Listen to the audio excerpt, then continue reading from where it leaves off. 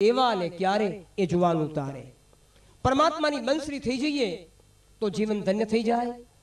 બસ, પોથીયાત્રા મંડપમાં આવી રહી છે. ચિત્રકૂટ ધામની અંદર આપ સૌને હું વિનંતી કરું કે પાંચ પાંચ વર્ષની લોકો પ્રતીક્ષા કરે અને પરમાત્માની અસીમ કૃપા ઉતરે ત્યારે આપણને આવી કથાનો લાભ મળે. એ કથા મુલુંડને આંગણે આજે આવી રહી છે ત્યારે આપણે એવી કામના કરીએ કે આ કથા દ્વારા આસપાસના લોકોને એવા પ્રેરણાના અમૃત મળે કે હિન્દુસ્તાનનો રક્ષાનો રંગ બદલાઈ જાય. આ કથા કોઈ ફંડફાળા માટે નથી.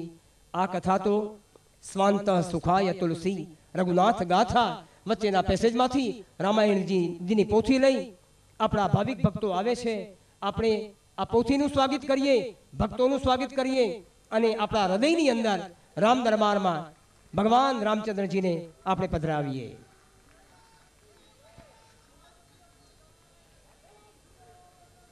આ કથાની વિશેષતા એ છે કે એક તરફ આપણા વડીલોના આશીર્વાદ અને હોશ છે, બીજી તરફ યુવાનોનું જોશ છે અને આ બેનો સંગમ થાય છે ત્યારે એવું લાગે કે ગંગા અને યમુનાનું પવિત્ર મિલન થઈ રહ્યું છે.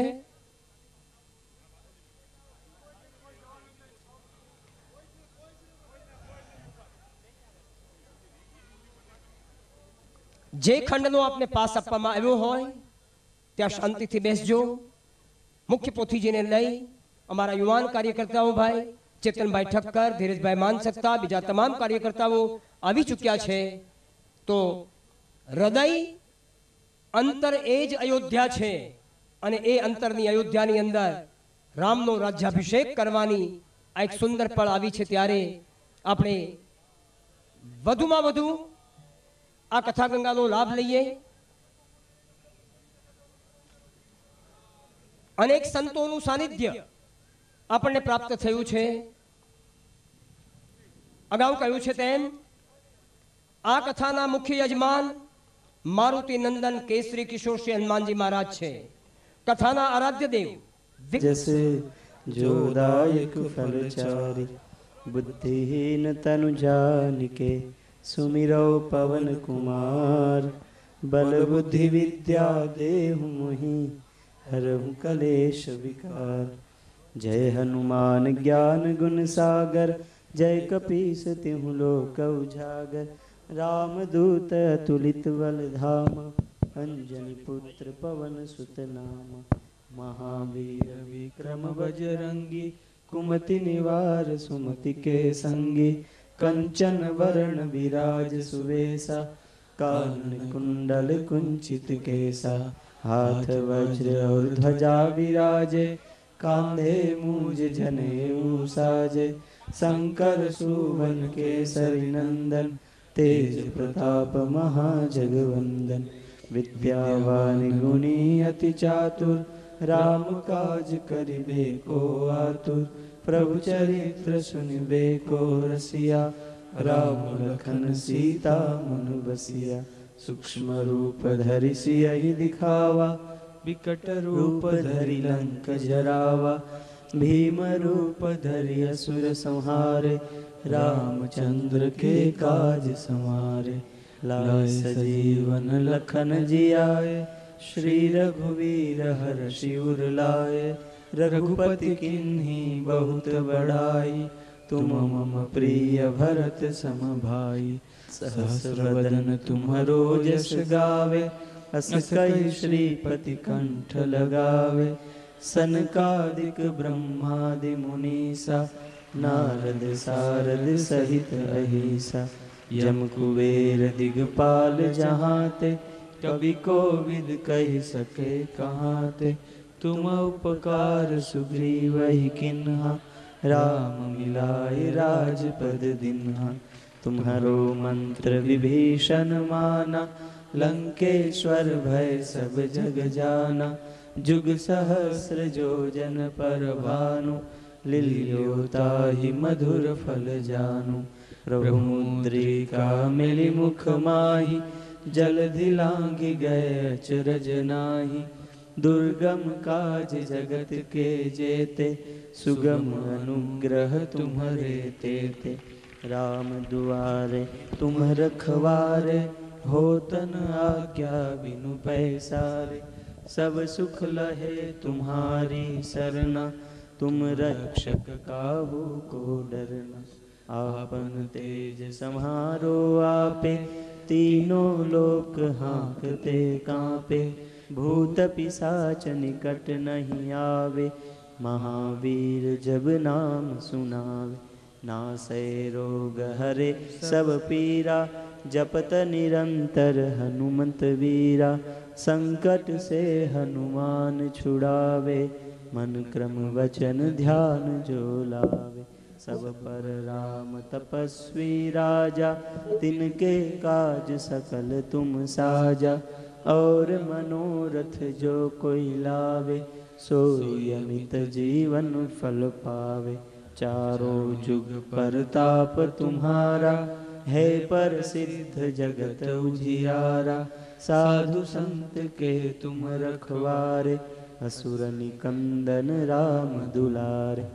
अष्ट सिद्धि नव निधि के दाता, असवर दीन जान की माता। राम रसायन तुम्हारे पासा, सदा रहो रघुपति के दासा।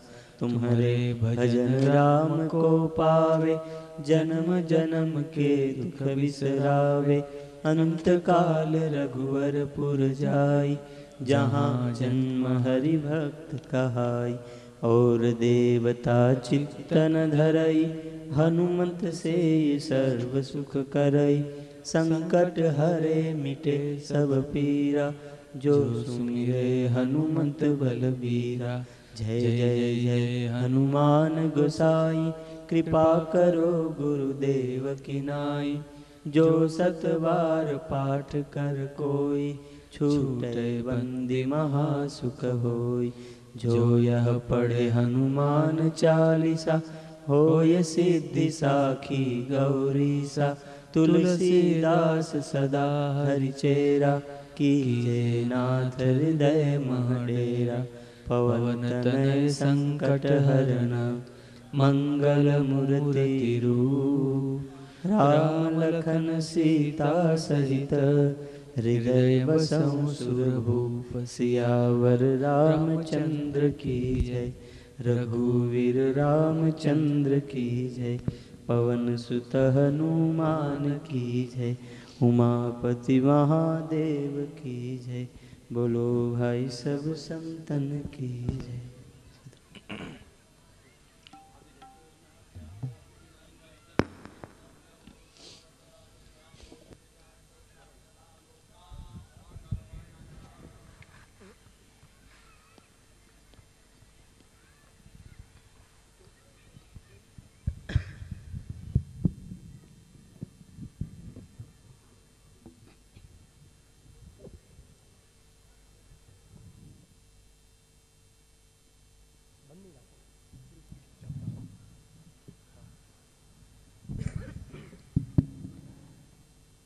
રામાયણનો દિવ્ય સંદેશ લઈ આ પવિત્ર ચિત્રકૂટ ધામમાં પરમ પૂજ્ય મોરારી બાપુ આવી ચૂક્યા છે.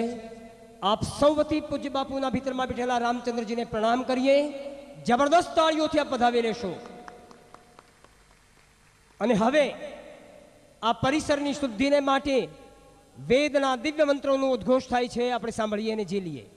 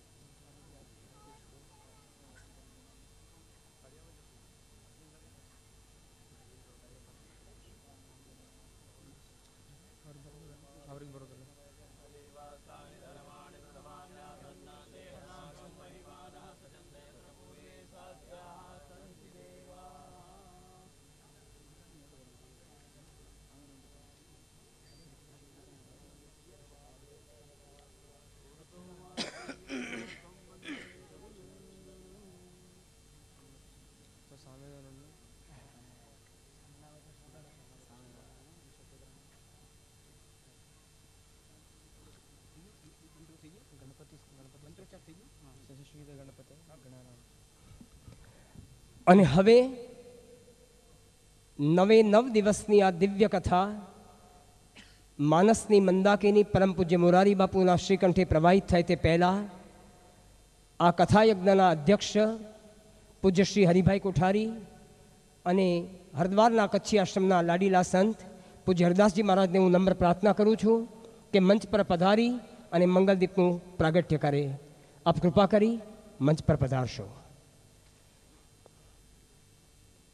આ કથાની અનેક વિશેષતાઓ છે એમાંની એક વિશેષતા કે આપણા મુખ્ય યજમાન મારુતિ નંદન કેસરી કિશોર શ્રી હનુમાનજી મહારાજ છે તો કથાના આરાધ્ય દેવ વિઘ્નહર્તા શ્રી ગણપતિ બાપા છે અને સમગ્ર વિશ્વે જેની બે શતાબ્દી જન્મની ઉજવી એવા અતિથિ વિશેષ સંત શ્રી જલારામ બાપા, આ સર્વદેવોની કૃપા આપણા ઉપર વર્તે, ઉતરે. એ માટે પૂજ્ય હરિદાસજી મહારાજ અને પૂજ્ય હરિભાઈ કોઠારી અહીં આવી અને પરમાત્માના આ ત્રણેય દેવોની સમક્ષ મંગલ દીવો પ્રગટાવશે.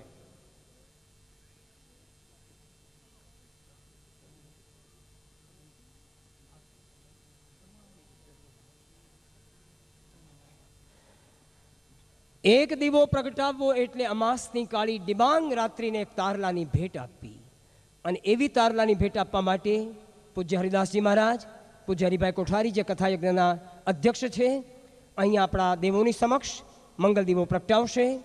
અને આપણે પૂજ્ય બાપુને એવી પ્રાર્થના કરીએ કે અમારા દરેકના ભીતરમાં પ્રેમ અને શ્રદ્ધાનો આવો મંગલ દીવો પ્રગટે એવી જ્યોતિર્મય વાણી આપ અમને સંભળાવજો. ઘી છે, વાટ છે, દીવો પણ છે, જરૂર છે ચિનગારીની. અને એવી ચિનગારી લઈને પૂજ્ય હરિદાસજી મહારાજ અને પૂજ્ય હરિભાઈ આવ્યા છે.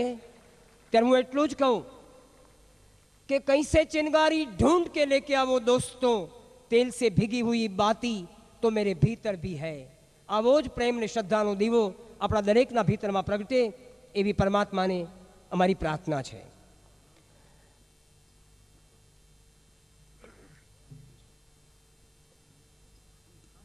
માન સરોવર સુધી જે જઈને કથા કરી આવ્યા એવા પૂજ્ય મોરારી બાપુ, વાયુમંડળમાં કથા કરી, દરિયામાં કરી, પણ મુલુંડની જનતાનું પુણ્ય પ્રકાશતું હતું એટલે આજે ચિત્રકૂટ ધામમાં પધાર્યા છે.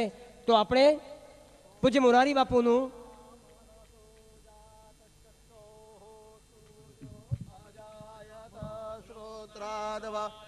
પ્રાણશ્ચ મોખા દગ્નિ રજાયત.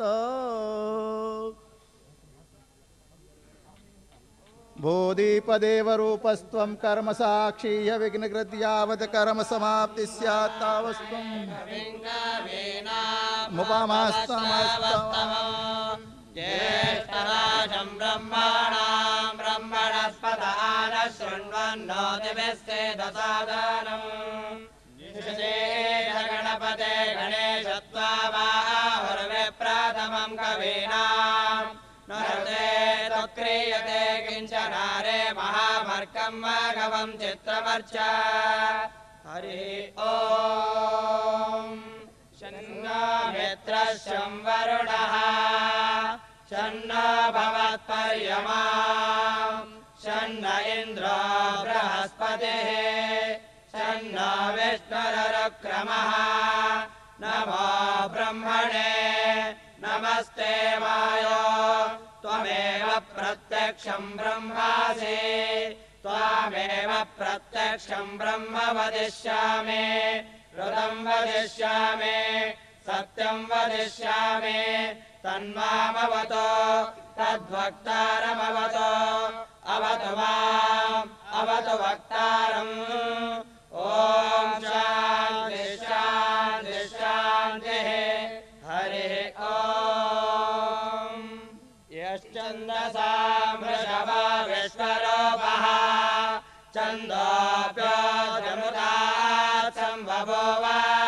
समेन्द्रो मेधया शृणोतु अमृतस्य देवधारणो भूयासम् शरीरं मे विचर्षणम् जुह्वा मे मधुमत्तमा। कर्णाभ्याम् भूरिविश्रवम् ब्रह्मणः कोशोऽसि मेधया विहितः श्रुतम् मे गोपाय आवहन्ते वितन्वाना कुर्वाणा चेरमात्मनः। वासागुंस्यमगावश्च अन्नपाने च सर्वदा।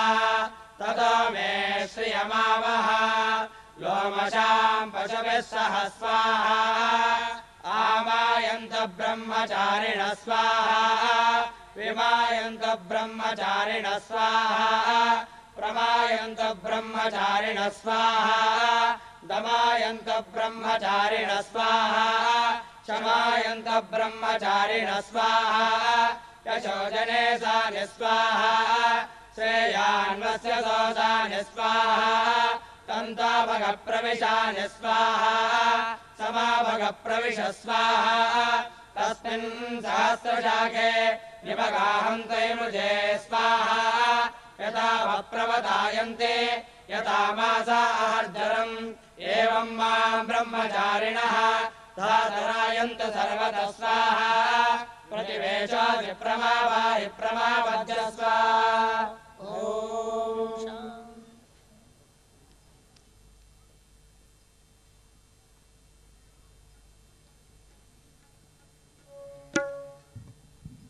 અને હવે જેમણે આ કથાનો મંગલ દીવો પ્રગટાવ્યો ગંગાના કિનારે, કચ્છી આશ્રમના જે આપણા સંત છે, પૂજ્ય વાલદાસજી મહારાજના જે પટ્ટ શિષ્ય છે, એવા પૂજ્ય શ્રી હરિદાસજી મહારાજ આપણને આશીર્વચન આપે એ પહેલાં શ્રી જગદીશભાઈ ગણાત્રાને વિનંતી કરું કે પુષ્પમાળા અર્પણ કરી અને હરિદાસજી મહારાજનું એવું સ્વાગત કરે.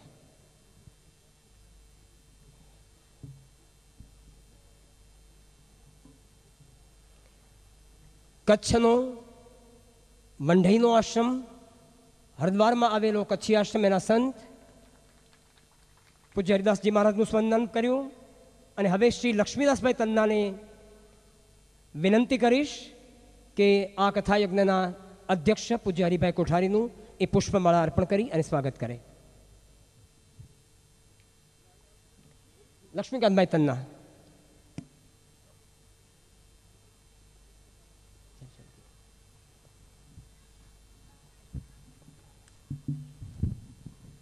અકબરના દરબારમાં નવરત્નો હતા. એવી રીતે આ મુંબઈની સંસ્કૃતિ અને સંસ્કારને જેણે સિંચન કર્યું છે, એવા એક એક વ્યક્તિનું આપણે દરરોજ કથા યજ્ઞમાં સન્માન કરીશું. પરંતુ એ પૂર્વે આપણા નવે નવ દિવસના કથાયજ્ઞના મુખ્ય આચાર્ય સંસ્કૃતના પ્રકાંડ વિદ્વાન શ્રી ગૌતમભાઈ શાસ્ત્રીનું સન્માન કરવા માટે હું શ્રી જીતેન્દ્રભાઈ રાયકુંડલિયા અને બિપિનભાઈ પોપટને નિમંત્રણ આપું છું અને આપણા મુખ્ય આચાર્ય શ્રી ગૌતમભાઈ શાસ્ત્રી, આપણા ઘરદીવડા સંસ્કૃતના વિદ્વાન, એનું અભિવાદન કરશે. ગૌતમભાઈ પ્લીઝ અહીં આવશો.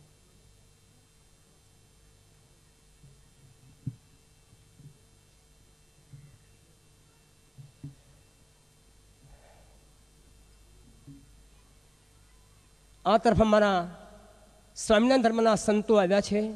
એક જ વાક્ય માત્ર, પૂજ્ય બાપુના આશીર્વાદ લઈને. ભારતમાં ત્રણ તાલ જાણીતા છે. સ્વામિનારાયણ ધર્મનું વડતાલ, નરસિંહ મહેતાની કડતાલ ને ગાંધીજીની હડતાલ. તો એવા વત્સલ સંતો અને સર્વ સંતોને આપણે આવકાર આપીએ છીએ. અને હવે પૂજ્ય હરિદાસજી મહારાજને આપણે વિનંતી કરીએ કે આપણને આશીર્વચન રૂપે બે શબ્દો કહે. પૂજ્ય હરદાસજી મહારાજ અહીં આવી અને આપણે આશીર્વચન આપશે.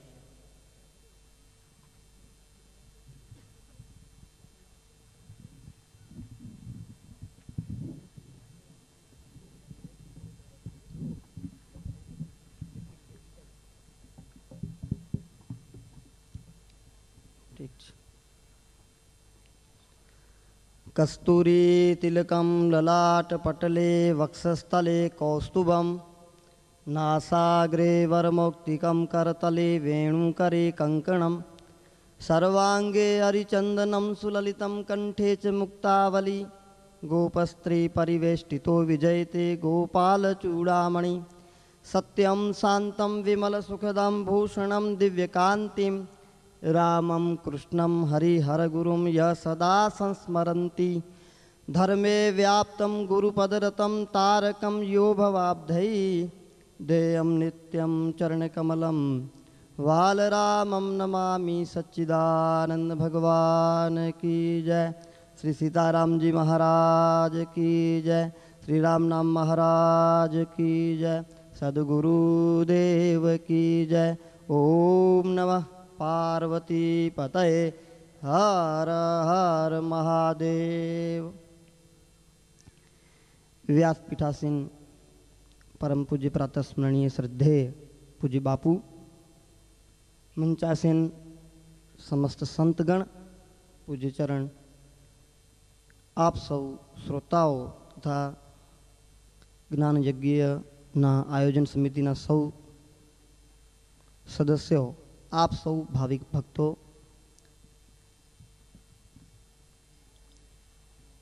માળું માળું સુધી પોજે કો હતો?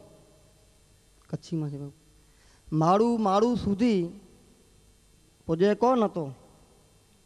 સોયોએ હોય રસ્તો. માણસ માણસ સુધી પહોંચી કેમ નથી શકતો? સાંભળ્યું છે, બની ગયો છે રસ્તો. માણસ ક્યારેક મળે તો છે, પણ ભાઈ ભાઈ કોર્ટમાં મળે છે. પતિ પત્ની મિલનતા પણ કોર્ટ में માળું માળું જા મન હિકડે મેં જા મિલે કોણ હતા? શું એ રસ્તા તો ગણે થઈ રસ્તા થઈ ગયા અહીં, રસ્તા થઈ ગયા છે, છતાં માણસ માણસને મળતો કેમ નથી? કવિની એક કલ્પના છે કે માણસ માણસને મળતો કેમ નથી? લાગી તો છે કે બધા ઘણા માણસો છે. ત્યારે ભાઈ જોવા જેવી થાય, જ્યારે ચાળિયા ચોકીએ જાય. માણસોના જૂનના જૂન છતાં જ્યારે ખેતરની ચોકી કરવી તો ચાળીઓ ઊભો રાખે. પાંજે કચ્છમાં ઓળો ચેતા એમ. તો કે છે ક્યાંક ઉણપ દેખાય છે.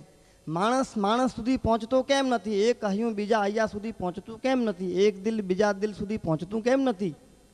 અરે, પહોંચવા માટે રસ્તા તો મેં ઘણા સાંભળ્યા છે, બની ગયા છે. અસ્તુ, હું એ જ કહેવા માગતો હતો. આપણું મુલુન આપણે સૌ આજે ભાગ્યશાળી થયા છીએ. કે આજે આપણા મુલુનના આંગણે ત્રેતાયુગમાં એક મોટા આર્કિટેક્ટ, એન્જિનિયર આવ્યા હતા. ત્રેતાયુગમાં અને એ ભગવાન રામ. અયોધ્યાને જનકપુરી સાથે જોડી દીધું. વચ્ચે એક પુલિયો બનાવ્યો, સેતુ બનાવ્યો. લંકા અને અયોધ્યાને ભેગા કરી દીધા, એક મોટું સેતુ બનાવ્યો. સેતુ બંધ રામેશ્વર. વિશ્વામિત્ર અને વશિષ્ઠને જોડી દીધા એક પુલિયાથી. આર્કિટેક્ટ એન્જિનિયર ભગવાન શ્રી રામ એવા તો કેટલાયને જોડ્યા? એ વખતે અને આજે આપણા આંગણે મુલુંડમાં એક બીજા આર્કિટેક્ટ આવ્યા છે. કારણ કે આ નગરી છે ને મોટા મોટા મકાનોની છે. એની આર્કિટેક્ટની બહુ જરૂર પડે છે એન્જિનિયરની તો આજે આપણી પાસે મોટા એન્જિનિયર આવ્યા છે ત્રેતાયુગ પછી. આમ તો વચ્ચે તુલસીદાસજી મહારાજ આવ્યા, રામાયણના માધ્યમથી બધાને જોડી દીધા. હવે આપણા મુલુનમાં આપણે બધાના હૈયા એક થાય. બસ. જાવું હતું આપણે એકબીજાના મન સુધી. દિવસો જુદાઈના જાય છે એ જશે જરૂર મિલન સુધી. મારો હાથ જાળીને લઈ જશે મારા શત્રુઓ સ્વજન સુધી. તો આપણે એકબીજાના મન સુધી જવું છે, આપણા મન બધાના એક થઈ જાય. એકમ એવમ અદ્વિતીયમ બ્રહ્મ જે સૂત્ર છે આપણા ઉપનિષદોનું, તે આપણે એક છીએ તો એક જુદા લાગીએ છીએ. એ ભ્રાંતિ છે, એ ભ્રાંતિ દૂર થાય અને એક સેતુ નિર્માણ થાય. પૂજ્ય બાપુ નવ નવ સુધી આ એક સેતુ નિર્માણ કરવાના છે. એક સામે આપ ત્યાં ઊભા રહો, હું અહીંયા હું, વચ્ચે એક ખાય છે. એનો પર એક સેતુ બંધાશે અને આપણા બધેના મન એક થઈ જવાના છે. કાલે કોઈ એમ ન કહે કે મુલુનમાં બધા ઘણા જણા અલગ અલગ છે. મુલુનમાં આ કથા સાંભળ્યા પછી હવે બધેના હૃદય એક થઈ જવાના છે, બધેના મન એક થઈ જવાના છે અને મુલુનની અંદર એક નવી ક્રાંતિ, એક નવું સંગઠન ઊભું થશે કે જે પરમાત્મા સુધી આપણને પહોંચાડશે. અણગમતું ઉર રાખીએ, અણગમતું ઉર રાખતા અને ગમતાનું કરતા ગુલાલ. બાપુ, આપણા વચ્ચે એમને જે ગમે છે તેનું ગુલાલ કરવા આવ્યા છે, ઉડાડવા આવ્યા છે. એમને શું ગમે છે? નવ દિવસમાં આપને ખબર પડી જશે. પણ એકાદ દિવસ હમણાં મેં જ કથા સાંભળી હતી. મને એવું લાગ્યું છે કે બાપુને ગમે છે રામાયણ અને પૂજ્ય બાપુને ગમે છે ભગવાન રામ. તો આપના સૌ સુધી એ રામાયણ પહોંચે. આપ સૌ સુધી ભગવાન રામ પહોંચે એવું એ ગુલાલ ઉડાડવા આવ્યા છે. આપણે સૌ ભાગ્યશાળી છીએ. પૂજ્ય ગુરુદેવને પ્રાર્થના કરીએ. સીતારામજી મહારાજને પ્રાર્થના કરીએ કે એ ગુલાલ જ્યારે ઉડાડે ત્યારે બે બે કણ, એકાદ કણ આપણા ઉપર પણ પડી જાય અને ભગવાનને પ્રાર્થના કરજો, એકાદ બે છાંટા મારા ઉપર પણ કંકુ ના પડી જાય. બોલો શ્રી સીતારામજી મહારાજ કી સદગુરુ દેવ કી જય. અને હવે આ સમગ્ર કથા યજ્ઞના અધ્યક્ષ આપણા સર્વના લાડીલા સારસ્વત પૂજ્ય હરિભાઈ કોઠારી આ પ્રસંગે બે શબ્દો કહેશે. આપણે સૌ તાળીઓથી વધાવી લઈએ. પૂજ્ય હરિભાઈ કોઠારી.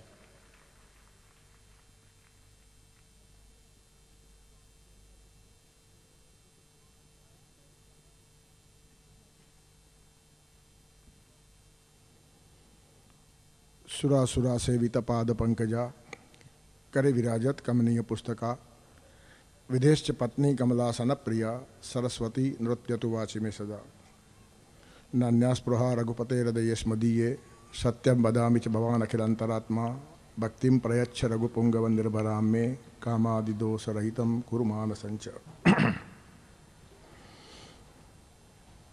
મુલુંડના આંગણે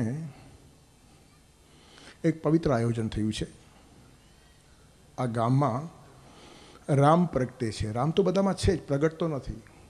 અને બાપુએ બહુ મોટું કામ કર્યું છે. હું ત્રીસેક વર્ષથી એમને જાણું છું, પ્રવૃત્તિને બી જાણું છું. વિશ્વભરમાં રામ પ્રગટાવવાનું કામ કર્યું છે. કોઈ માણસમાં રામ ન હોય ને તો એ રામ મગરનો માણસ કહેવાય. એ શિવમાંથી સૌ થઈ જાય. જેનામાં રામ નથી, એ જીવતી લાશ છે. અને મોટાભાગના માણસો સમાજમાં આવા થયા છે. નિસ્તેજ. હમણાં જ મને હરદાસજી મહારાજે કીધું, આ છોકરાએ બહુ સારું કામ કર્યું. ચેતન પગે લાગવા આવેલું, ત્યારે મેં કીધું, નામ ચેતન નથી, એનામાં ખરેખર ચેતન છે, રામ છે. લગાતાર બે અઢી મહિનાથી હું જોઉં છું, આ છોકરાઓ દિવસ રાત રામમય થઈ ગયા છે. ખરી ઉપાસના આ છે. ગાયત્રી માતાએ એમને શક્તિ આપી છે. અને ઉપાસનાથી દોડ્યા છે, માટે થાકતા નથી. વેટ સમજીને દોડે, થાકે. અને ભક્તિ સમજીને દોડે, તેને શક્તિ મળે, સ્ફૂર્તિ મળે. આજે આટલા ને આટલા તાજા દેખાય છે, અઢી મહિના પછી આ છોકરાઓ. એ રામની કૃપાની તો શું છે? એ તો માણસ નિસ્તેજ થઈ જાય, તે જ નથી નિસ્તેજ બનેલા માનવ કેરા મરદા જોયા. તપના કરવું નથી, સાધના સિદ્ધિ માટે મરતા જોયા. તત્પરતા ના દિશે જીવનમાં કાર્ય રહિત બેઠેલા જોયા. પ્રાણને ચૈતન્ય નથી તો એ સ્વાર્થના શ્વાસો ભરતા જોયા. અને મરતો ના તેથી જીવું છું, એમ કહેતા માનવ જોયા. ત્યારે સત્ય હકીકત કહું છું કે ઈશ્વરને મેં રડતા જોયા. ત્યારે ભગવાન ખુશ થાય તેવું આ કામ થયું છે. રામની પ્રતિષ્ઠા. માણસ માણસમાં થવી જોઈએ, રામની પ્રતિષ્ઠા ઘર ઘરમાં થવી જોઈએ. જે ઘરમાં રામ નથી, એ ઘર ઘર નથી, મકાન છે. જે સમાજમાં રામ નથી, એ સમાજ સમાજ નથી, સ્મશાન છે. અને જે રાષ્ટ્રમાં રામ નથી, એ રાષ્ટ્ર રાષ્ટ્ર નથી, પોપાબાઈનું રાજ છે. તેથી વ્યક્તિ જીવનમાં રામ જોઈએ, પરિવારના જીવનમાં રામ જોઈએ, સંસ્થાઓના જીવનમાં રામ જોઈએ, સમાજ જીવનમાં રામ જોઈએ, રાષ્ટ્ર જીવનમાં રામ જોઈએ અને વૈશ્વિક જીવનમાં પણ રામ જોઈએ. રામ એટલે ખાલી દશરથનો દીકરો નહીં. રામ એટલે ચેતના, રામ એટલે શક્તિ, રામ એટલે ઉત્સાહ, રામ એટલે પ્રેમ. એવી એવો કોઈ વિશેષણ નથી જે રામમાં ન હોય. સમુદ્ર ઇવ ગાંભીર્ય, ધૈર્ય છે હિમવાન ઇવ વાલ્મીકી કહે છે કે રામ સમુદ્ર જેવા હતા. સમુદ્ર મસ્ત હોય, સમુદ્ર તોફાની હોય, આ દેશનો યુવાન મસ્ત હોવો જોઈએ, સુસ્ત નહીં. પણ સાથે એક વાત ધ્યાન રાખો, ગમે એટલી મસ્તી હોય, પણ સમુદ્ર મર્યાદા છોડતો નથી, આ રામની વિશેષતા છે. ત્યારે જ્યારે આ દેશના યુવાનો મસ્તી સભર અને મર્યાદાયુક્ત બનશે ને, ત્યારે આ રાષ્ટ્રમાં રામ રાજ્યને આવતા વાર નહીં લાગે. તેથી પ્રત્યેક ઠેકાણે રામ પ્રગટવો જોઈએ. રામકથાથી શું થાય? બહુ મોટી વાત થાય. રામકથાથી માણસમાં આસ્થા પ્રગટે છે. માણસ પોતાની અવસ્થાને ભૂલી જાય છે અને વ્યવસ્થા પોત મેળે સચવાઈ જાય છે. આનું નામ રામકથા. એક એક માણસમાં આસ્થા પ્રગટે છે. કોઈ જ વાત રામનું નામ ઉચ્ચાર્યા પછી અશક્ય લાગતી નથી. સમુદ્ર કૂદતી વખતે હનુમાન માથે હાથ દઈને બેસી ગયો તો જાંબવાને એને શક્તિનું સ્મરણ કરાવ્યું કે બીજા બધા ભલે બેસી જાય, પણ તું ધારશે તો કૂદશે અને હનુમાન કૂદ્યો. કેવો કૂદ્યો? અંજની માતની કુખ ઉજાડીએ વીર ખરો હનુમાન. સાગરને કૂદનારા કપીનું કંઈક કરી અનુમાન. કુવામાં ડૂબતો જાજે, હૃદયામાં રામ બિરાજે, સાચો એવો વીર તું થાજે જનેતાનું દૂધ ન લાજે. આવો એક સરસ સંદેશ યુવાનોને બાપુ હંમેશા આપતા રહ્યા છે. શક્તિ બધામાં છે, પણ સ્મૃતિ ભૂલાઈ જાય છે. ત્યારે આપણા દેશમાં લોકો પાસે પુષ્કળ શક્તિ ફરી છે. આખી દુનિયા ફરીને કહું છું કે ભારત જેટલી બુદ્ધિ કોઈ દેશમાં નથી. અને ભારત જેવું સશક્ત રાષ્ટ્ર પણ કોઈ નથી. ખરેખર તો દુનિયાના બધા રાષ્ટ્રો ભારતથી ગભરાય છે અને ભારતનો વિકાસ ન થાય તેના માટે સામુદાયિક પ્રયાસો વિશ્વમાં ચાલે છે, પણ રામ વિકાસ કરીને જ રહેશે, આ રામકથા એનો પુરાવો છે. રામ એટલે સત્વ, રામ એટલે ચેતના, રામ એટલે તાકાત, રામના નામે લોકો એક થઈ જાય. આજે આખું મુલુન ગામ એક છે. બર બપોરે તડકામાં ચાલતી વખતે કોઈને થાક લાગતો નથી, કંટાળો આવતો નથી. રામના કામ માટે અમે તપવા તૈયાર છીએ. આવી રીતની વાત જ્યારે આવીને ઊભી રહેશે ને ત્યારે રાષ્ટ્રની બધી સમસ્યાઓ ચપટી વગાડતામાં ઉડી જશે. તેથી આ ખાલી કથા એટલે એમને સમજો કે ખાલી શ્રવણની જ વાત છે. એમાંથી ચેતના અને ક્રાંતિ નિર્માણ થાય છે. ક્રાંતિની સંક્રાંતિ થાય છે. સમ્યક ક્રાંતિ એને ચોક્કસ દિશા છે. અને અધિકારી માણસ પાસેથી જ્યારે વાતો આવતી હોય ને, ત્યારે એમાં દિગ્ભ્રાંતિ હોય જ નહીં. ચોક્કસ સંક્રાંતિ હોય, સમ્યક ક્રાંતિ હોય. ત્યારે એક આસ્થા નિર્માણ કરવાનું કામ છે. અવસ્થાને ભૂલાવી નાખે. રામની પછવાડે છોકરાઓ પણ ગાંડા, યુવાનો પણ ગાંડા. અને એંસી વર્ષના ગરડાને પણ રામના નામે નાચતા શરમ લાગતી નથી. રામ અને કૃષ્ણોએ આ દુનિયાને નચાવી છે. હજારો વર્ષથી જ્યારે જ્યારે એમની જયંતિ ઉજવાય ને ત્યારે આજે જ જન્મ્યા તેવું લાગે છે. આટલી ચેતના અહીંયા છે. ત્યારે અવસ્થાને ભૂલાવે એનું નામ રામ, આસ્થાને પ્રગટાવે એનું નામ રામ અને વ્યવસ્થા સ્વયં સચવાઈ જાય એનું નામ રામ. કંઈ ઓછી વ્યવસ્થા છે? કેટલા બધા આયોજનો હોય. પણ સહજતાથી ને સરળતાથી થાય એનું કારણ પ્રત્યેક ઠેકાણે રામ મોરચો સંભાળીને ઊભો રહી જાય. તેથી રામકથાના આયોજન દ્વારા એક બહુ મોટું કામ અહીંયા થઈ રહ્યું છે. મુલુંડના સદભાગ્ય છે. મુલુનનું જૂનું નામ જ છે મંગળાપુર અહીંયા મંગલ કામોમાં હંમેશા સાથ હોય છે. અને બાપુ આટલા બધા વ્યસ્ત છે. અઢાર વર્ષે અહીંયા આવ્યા છે. ત્યારે કહેવાનું તાત્પર્ય શું છે કે બાપુ પાસેથી જે આપણને મળે ને, તે ઝીલવાનું છે. આત્મસ્થ કરવાનું છે. જીવનમાં ઉતારવાનું છે. અને પછી રામ કથામાંથી આપણે શું સાંભળી આવ્યા ને, તે આપણે ચાલતા ફરતા બોલતા હોય ત્યારે લોકોને જોવા મળવું જોઈએ. સ્થિત પ્રજ્ઞસ્ય કા ભાષા સમાધિસ્થસ્ય કેશવ દે કિમ પ્રભાસે તો કિમ આસિત વ્રજે કિમ. એવી મર્યાદા, એવો પ્રેમ, એવી આત્મીયતા, એવું બંધુત્વ એ રામાયણના મૂલ્યો બાપુ મૂકે છે. ખાલી કથા નથી કરતા, રામ દ્રષ્ટિ આપે છે. વનવાસમાં જઈને પણ રામ સુખી હતા અને આપણે મહેલમાં દુઃખી છીએ. શેનું કારણ શું? સુખ પૈસામાં નથી, પ્રેમમાં છે. જાનકી વલ્લભ શ્રીમાન. રામ શ્રીમંત હતા શા માટે? સીતાના પતિ હતા એટલા માટે. અયોધ્યાના રાજા હતા એટલા માટે નહીં. જેને પતિ બનતા આવડે ને શ્રીમંત છે. આપણને કરોડપતિ બનતા આવડે છે. પતિ બનતા નથી આવડતું. સોનાનો ચેન ઘડામાં પહેરીએ છીએ, પણ રાત દિવસ બેચેન હોઈએ છીએ. ત્યારે વનવાસમાં ભટકતો રામ જો સુખી હોઈ શકે, તો મહેલોમાં રહેનારા આપણે સુખી કેમ ન હોઈએ? આ રામ પાસેથી દ્રષ્ટિ મેળવવાની છે. તેથી રામકથા આસ્થા આપે છે, અવસ્થા બોલાવે છે, વ્યવસ્થા જાળવે છે, જીવનની વિશિષ્ટ દ્રષ્ટિ આપે છે, મૂલ્યોને પ્રસ્થાપન કરે છે, સમગ્ર રાષ્ટ્રને સશક્ત બનાવે છે. આપણે પુષ્કળ છીએ, પણ એકલા એકલા છીએ અને અસત તત્વો થોડા છે, પણ એક છે. એકવાર દસ ગુંડાઓએ કોલેજ બંધ કરાવી. મહિના પછી હું ત્યાં ગયો. ત્રણ હજાર છોકરાઓને ભણવું છે, પ્રોફેસરોને ભણાવવું છે અને દસ ગુંડાઓ ના પાડે છે. શું વાત છે? એનું કારણ દસ ગુંડાઓને ખબર છે કે અમે દસ છીએ અને આ ત્રણે ત્રણ હજાર એકલા એકલા છે, ત્યારે અમે એકલા નથી, આટલા બધા છીએ, એ રામકથા આપણને સમજાવે છે. અને આમાંથી એક શક્તિ પ્રગટે. એક જ વ્યાખ્યાન મેં કોલેજમાં આપેલું, મહિના પછી કેટલાક બહારના ગુંડાઓએ છોકરીઓની મસ્તી કરી. કોલેજના વિદ્યાર્થી એવા માર માર્યા લોકોને કે દસ વર્ષ પછી હવે કોલેજમાં ગુંડો ફરકતો જ નથી. ત્યારે આપણી નિષ્ક્રિયતા, આપણી રામહીનતા અસત તત્વોને પ્રભાવિત થવાની તાકાત આપે છે. ત્યારે રામમાં આ ઐક્ય નિર્માણ કરવાની શક્તિ છે. અને બાપુ અવિરત અગ્નિહોત્રી બ્રાહ્મણની જેમ બળતા રહ્યા છે. અગ્નિહોત્રી બ્રાહ્મણના ઘરમાં આખી જિંદગી અગ્નિ હોય. જેને જોઈએ તે પ્રગટાવી લે. ત્યારે એમની પાસે જ્ઞાનનો એક પ્રવાહ ચાલે છે. આપણે પણ આપણો દીવો પ્રગટાવી લઈએ અને આટલા બધા દીવડાઓ પ્રગટે ને તો રાષ્ટ્રને દિવાળી થતાં વાર ન લાગે. અને મહારાષ્ટ્રમાં તો કહેવાય છે, સાધુ સંત યેતી ઘરા તો જ દિવાળી દશરા દિવાળી દશરા ક્યારે? સંતો આપણા ઘરે આવે ત્યારે દિવાળી. ત્યારે મુલુંડમાં આજથી દિવાળી શરૂ થાય છે, એક દિવસની નહીં, નવ દિવસની દિવાળી છે. અને આ જ પ્રકાશની અંદર આપણે અવિરત સ્નાન કરશું, પ્રકાશિત થશું અને એ જ પ્રકાશ ઠેકાણે લઈ જશે, જવાને માટે કટિબદ્ધ બનશું એવા આશીર્વાદ પરમાત્મા આપણને આપે, એ પ્રાર્થના સાથે વાણીને વિરામ આપીશ. પૂજ્ય હરિભાઈના પ્રેમાળ અને પ્રેરક શબ્દો પછી વરલીથી એક સંત પધાર્યા છે, પૂજ્ય શ્રી પરસોત્તમદાસજી મહારાજ. હું ભાઈ શરદભાઈ શ્યામજીભાઈ ઠક્કરને વિનંતી કરું કે સંતનું સ્વાગત કરે અને મુખ્ય સંકલન સમિતિના અધ્યક્ષ ભાઈ શ્રી ચેતનભાઈ ઠક્કર આ પ્રસંગે અમારા યુવાન કાર્યકર્તાઓ છે, આપ એમના હાથ મજબૂત બનાવજો કે આવા વિરાટ આયોજનો આ યુવાન દોસ્તો કરતા રહે. ભાઈ ચેતન ઠક્કર આ પ્રસંગે બે શબ્દ કહેશે.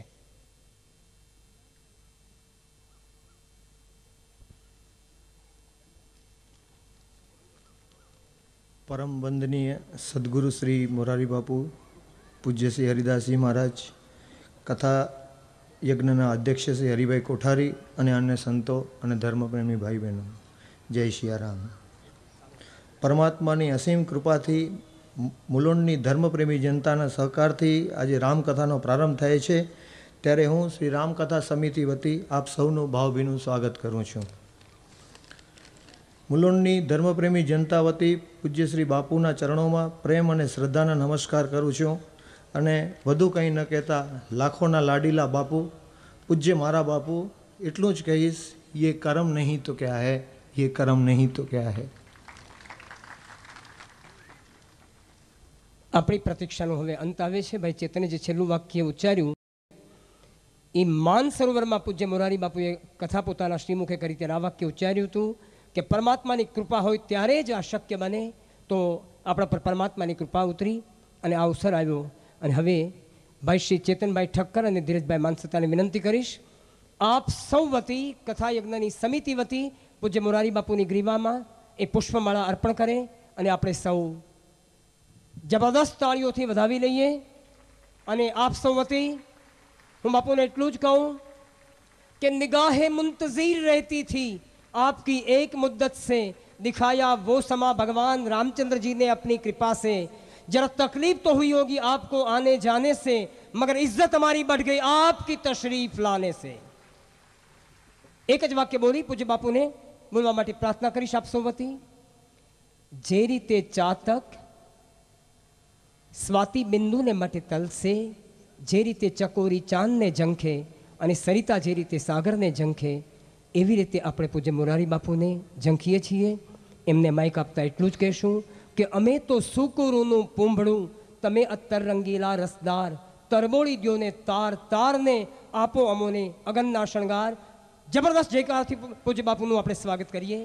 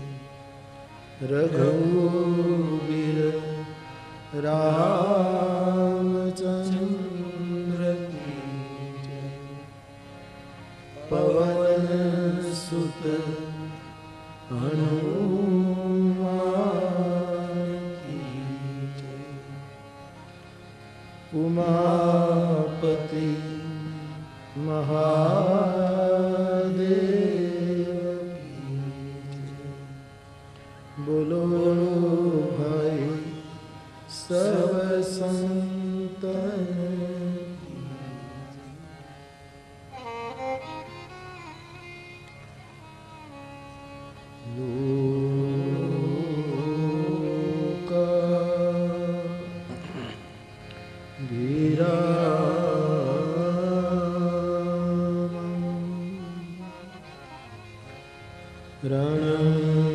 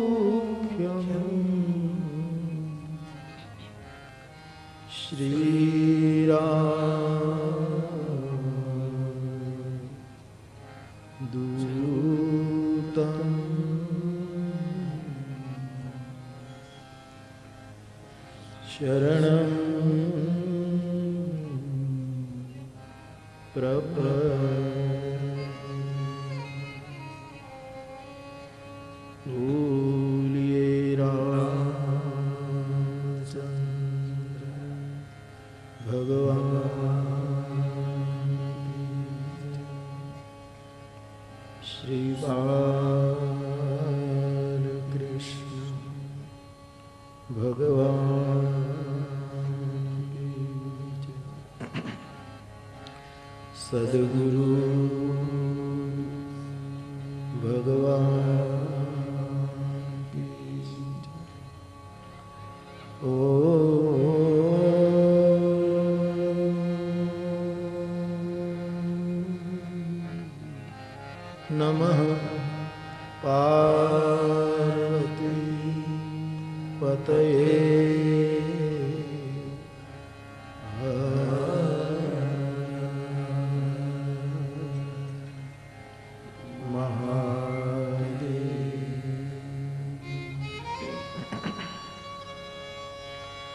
श्री राम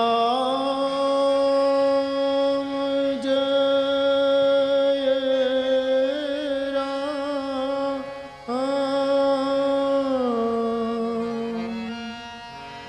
जय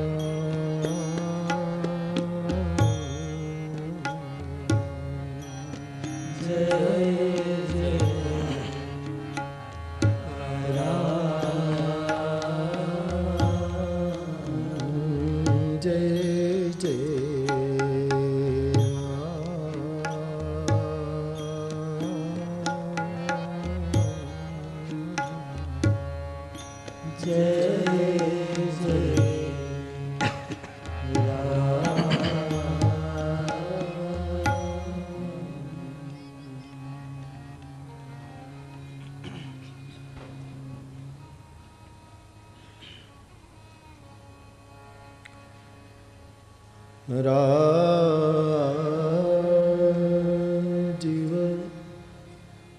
नयन धरे धनु सायक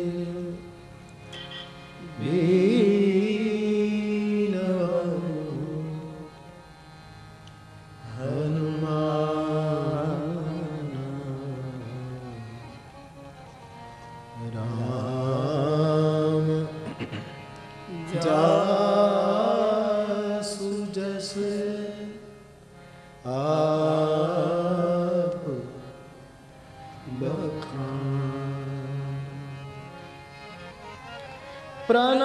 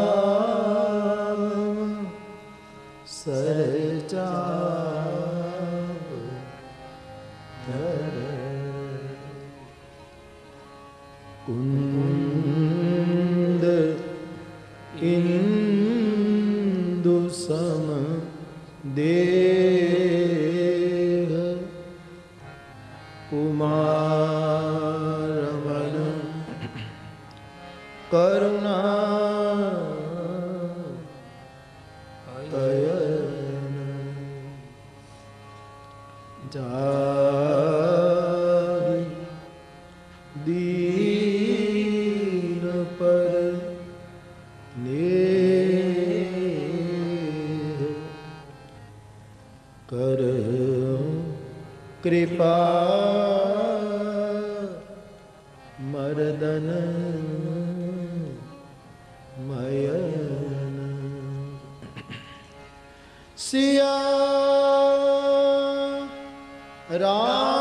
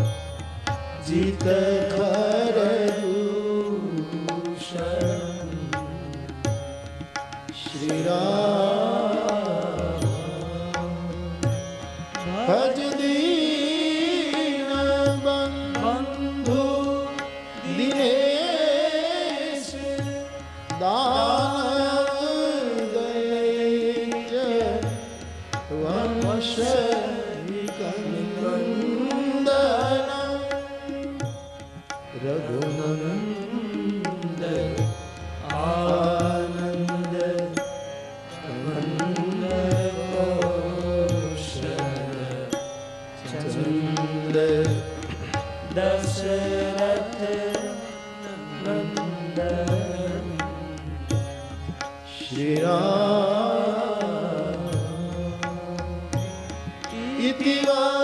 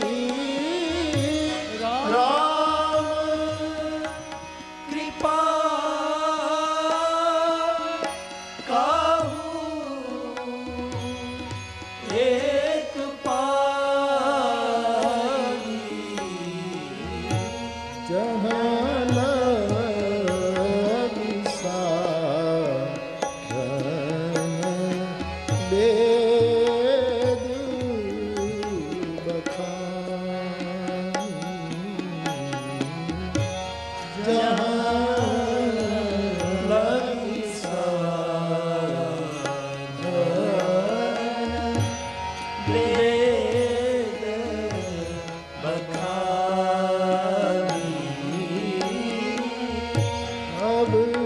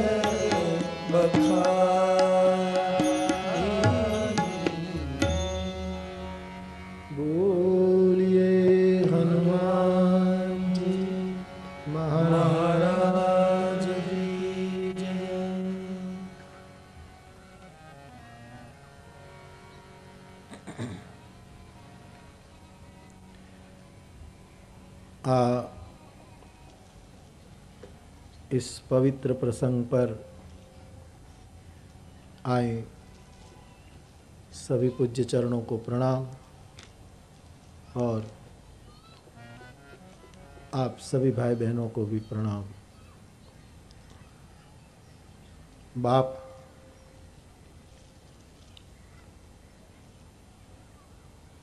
रामचरितमानस की कथा का जब प्रारंभ हो रहा है उत्तरकांड में करीब करीब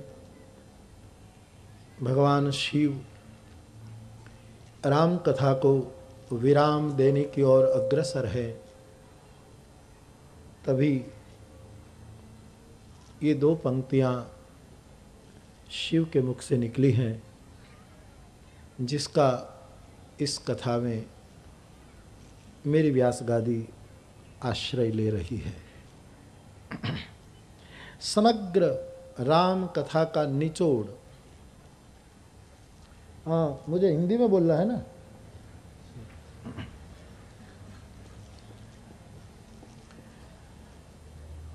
भगवान शिव ने पार्वती को कहा कि देवी,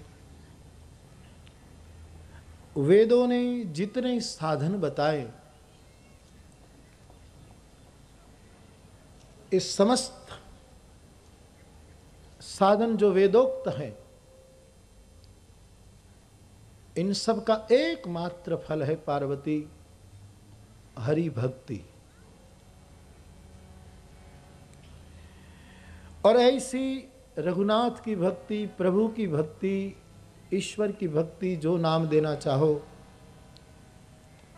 जो श्रुति भगवती ने जिसका गान किया, ऐसी भक्ति राम कृपा से कोई कोई को प्राप्त होती है, किसी को मिलती है। तो रामचरितमानस से इस कथा में मेरी व्यास गादी चाहेगी, मानस भक्ति सूत्र की चर्चा करेगी। रामचरितमानस में भक्ति की कितनी विधाएँ हैं? भक्ति के कितने रूप गोस्वामी जी ने नाना पुराण निगमागम सम्मत तो है ही। लेकिन अपनी निजी अनुभूतियाँ भी हैं। जो भक्ति वेदों का फल है,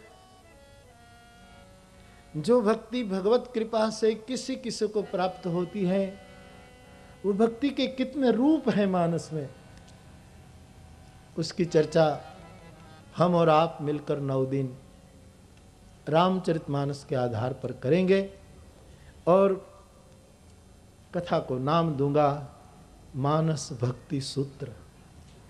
गोस्वामी जी ने अद्भुत बातें भक्ति परक कही है।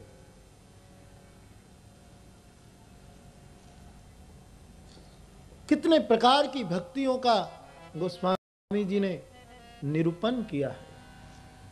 गोस्वामी जी बालकांड में बीज के रूप में बोल देते हैं।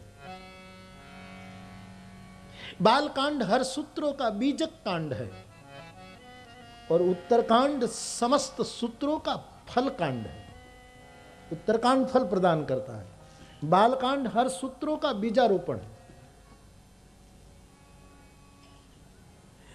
कभी कभी लोग ऐसा मानते हैं और स्वाभाविक भी एक हो गया है। कि कथा आज तो शुरू होने वाली है, आज क्या जाए, कल से जाएँगे। वो बीच चुक जाते हैं। और कभी कभी लोग सोचते हैं कि पूर्णाहुति में तो जल्दी जल्दी बापू पूरा कर देंगे। इसमें अब कहाँ मुंबई से जाना मुलुंड। तो वो शायद फल भी चुक जाते हैं। क्योंकि बाल कांड बीज है उत्तर कांड फल है। बीज पड़ा है बाल कांड में। मैं आपको प्रमाण देकर आगे बढ़ूं। भगती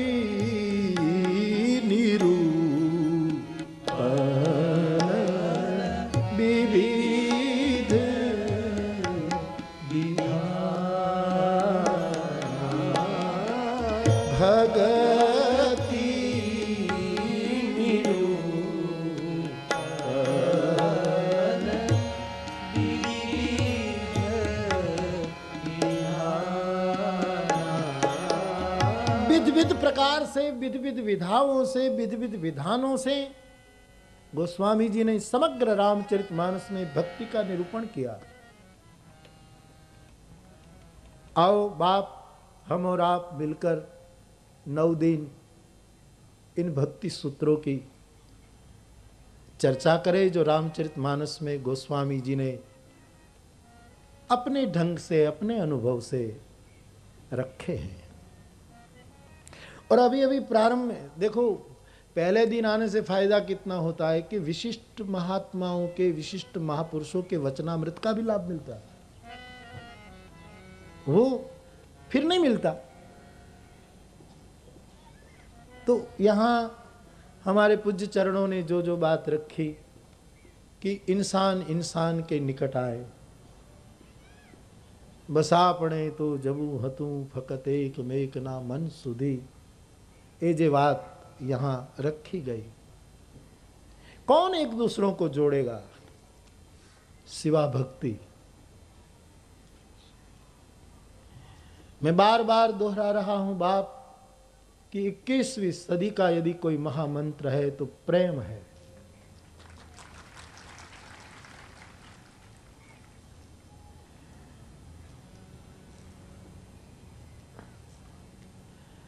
अभी दो दिन पहले एक मुस्लिम मौलवी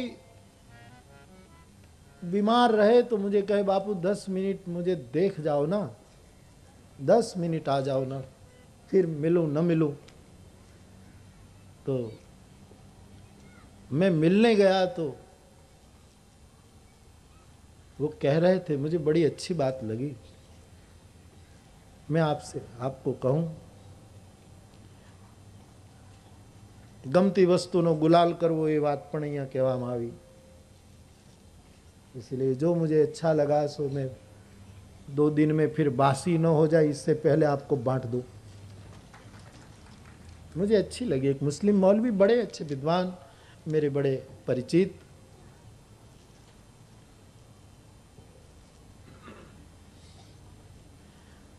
उसने कहा कि इस आसमान में कितने सितारे हैं अनगणित नक्षत्र तारे सितारे जगमगा रहे अनगणित। नौ लाख तो हम लोग अपनी बोली में बोलते हैं, बाकी किसको पता कि कितने हैं? नौ लाख तो हम कहते हैं कि नौ लाख तारे हाँ? इतने नक्षत्र से आसमां जगमगा रहा है, फिर भी एक भी सितारा दूसरे सितारे से टकराता नहीं। सब सबका सम्मान किए हुए अपनी भ्रमण कक्षा में अपना दायित्व निभा रहे हैं। और धरती पर इतने आदमी रात दिन एक दूसरे से टकराते क्यों है, समझ में नहीं आ रहा। बस राम कथा के माध्यम से यही राम चेतना सब में जागरूक हो और ये टकराहट बंद हो। इसलिए कथा है बाप। बाकी राम कथा से आप थोड़े अपरिचित है। कोई भारतीय अपरिचित हो सकता है राम कथा से। सब जानते हैं कि राम कथा में क्या प्रसंग है, कौन घटनाएँ हैं। लेकिन सूत्र के रूप में इस कथा में भक्ति की चर्चा करके मुलुम वैसे अपनी एक पहचान बनाए हुए है मुलुन अपनी एक पहचान है उसकी। और मैं राज़ी इसलिए होता हूँ कि युवकों ने ये कथा का आयोजन किया, व्यवस्था कर रहे हैं। और इसलिए भी मेरी खुशी है कि केवल स्वांत सुखाय है। इसलिए मैं ज़्यादा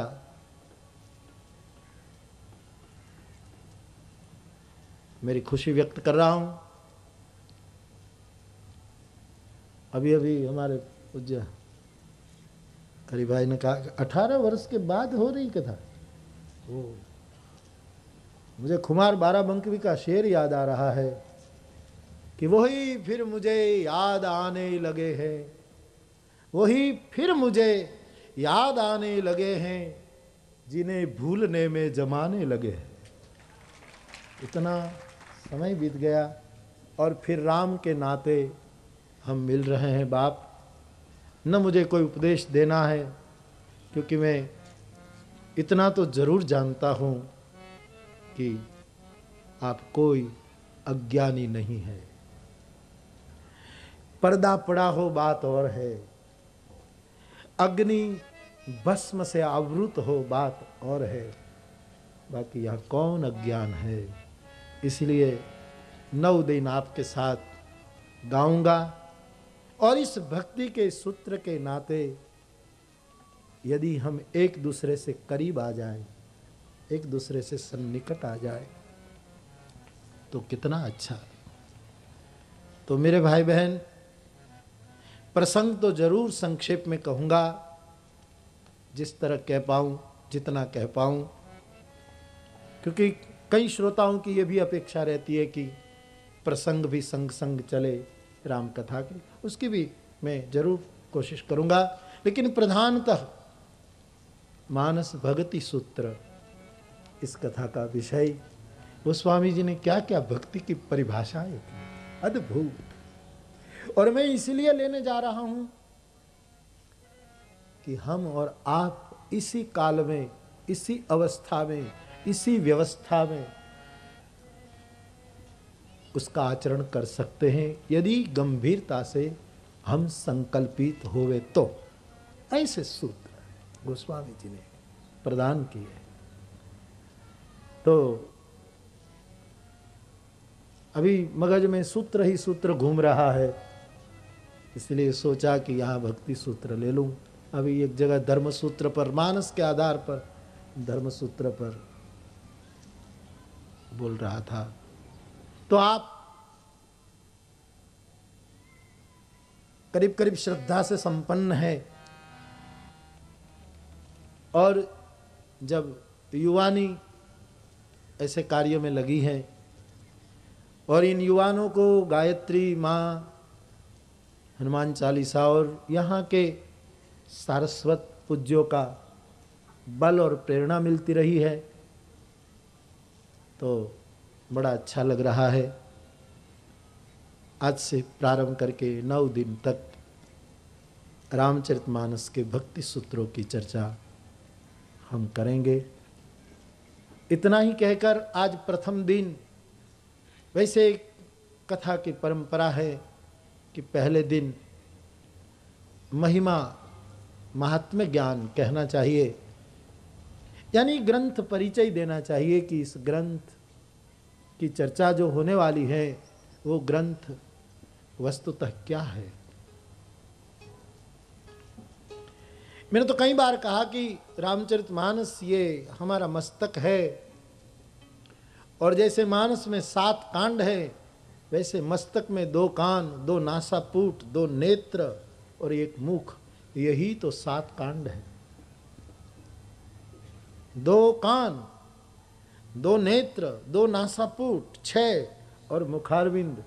यही रामचरित मानस का रूप है, सात सोपान का। हम सबों का ये मस्तक है। उसी की चर्चा करने जा रहे हैं। आप सब जानते हैं सात सोपान हैं इस ग्रंथ में। बाल अयोध्या, अरण्य, किसकिंधा, सुंदर, लंका, उत्तर। गोस्वामी जी ने बालकांड में जब मंगलाचरण किया संस्कृत में, तब सात मंत्र लिखे। और ये सातों मंत्र एक एक कांड की अगवानी कर रहे एक एक कांड का प्रतिनिधित्व कर रहे और जब चर्चा ही चली तो मैं कहना चाहूँगा कि बालकांड का प्रथम मंगलाचरण का मंत्र बालकांड की अगवानी कर रहा है।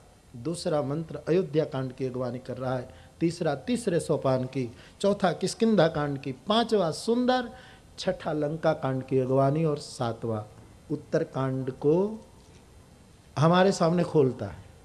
उत्तर कांड की महिमा गाता है। तो ऐसा ही रामचरितमानस जिसका पहला मंत्र मंगलाचरण में जो बालकांड का प्रतिनिधित्व करता है वर्णानामर्थ रसानां छन्दसामपि मङ्गलानां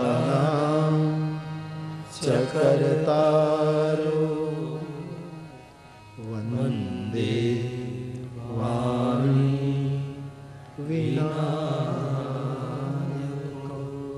पहले मंत्र में गोस्वामी जी ने वाणी और विनायक की वंदना की। जब हम बालक होते हैं, जब बचपना हम जब बच्चे होते हैं, तब आदमी को जल्दी जल्दी माता पिता हमारे लिए क्या चिंता करते हैं कि ये बेटा जल्दी बोलना सीखे और लिखना सीखे, लिखना पढ़ना सीखे। स्कूल जाए, लिखना पढ़ना सीख ले और बोलना सीखे। गोस्वामी जी ने बाल कांड ये बचपन का कांड है, बाल्यावस्था का कांड है, इसलिए प्रथम मंत्र में वाणी और विनायक की वंदना करके, क्योंकि विनायक लिखना सिखाता है, वाणी बोलना सिखाती है। वाणी मानी सरस्वती, सबको बोलना सिखाती है, और विनायक करीब करीब ग्रंथ लिखते रहते गणेश जी, ग्रंथ लेखन का काम कर, इसलिए बाल कांड की अगवानी ये मंत्र को सौंप कर, मानो गोस्वामी जी, लखना, पढ़ना, बोलना कैसे लिखे कैसे पढ़े, कैसे बोले, वो मानो समग्र सामान प्रदान कर देते हैं बालकांड का प्रथम श्लोक में। ऐसा मेरी व्यास गादी को लग रहा। दूसरा श्लोक अयोध्या कांड को सूचना देता है। भवानी शंकर वंदे श्रद्धा, विश्वास याभ्यां विनान पश्यन्ति सिद्धाः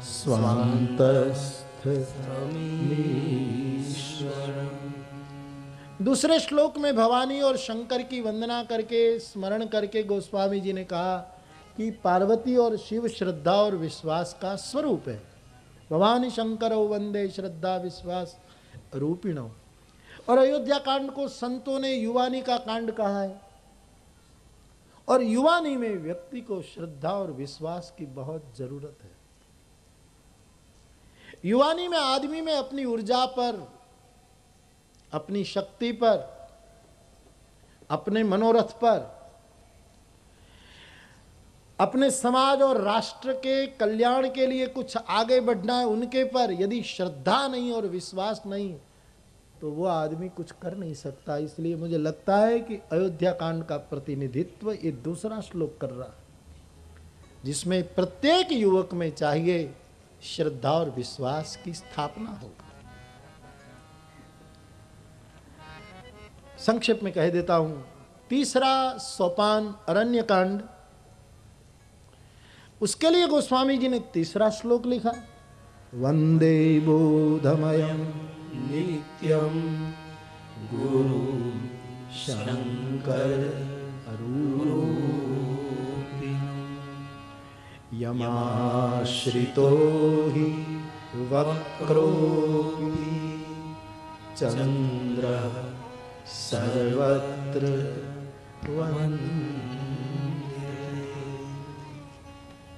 जब घोर जंगल में जाना होता है, जीवन के किसी ऐसी अवस्था से हम सबको गुजरना पड़े कि जहाँ अरण्य हो। विषम परिस्थिति हो, समस्याओं की सघनता हो, और उसी में से हमको यात्रा करनी होती है, तब व्यक्ति को चाहिए बोध।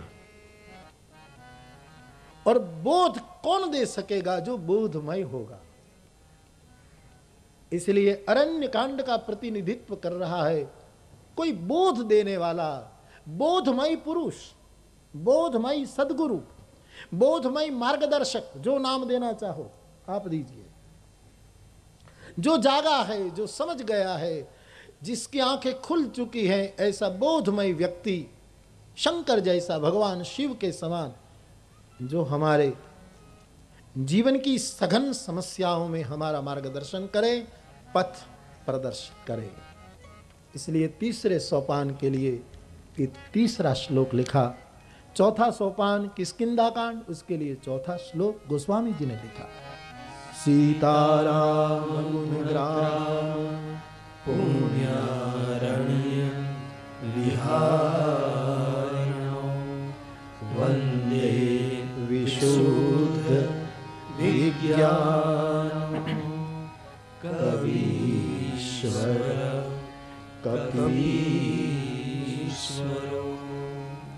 दो वैज्ञानिक की बात चौथे श्लोक में, मंगलाचरण में की गोस्वामी जी ने।